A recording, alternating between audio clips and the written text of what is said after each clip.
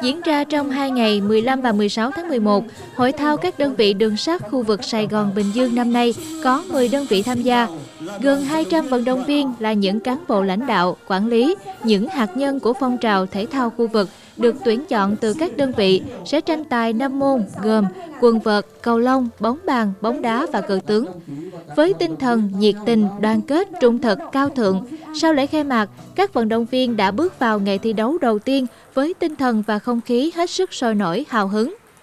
Hội thao các đơn vị đường sắt khu vực Sài Gòn Bình Dương là hoạt động thể thao thường niên và là ngày hội truyền thống của ngành đường sắt khu vực phía Nam. Hội thao giúp nâng cao đời sống tinh thần, rèn luyện sức khỏe cho cán bộ, công nhân viên trong ngành đường sắt, đồng thời tăng cường tinh thần giao lưu, đoàn kết, gắn bó giữa các đơn vị.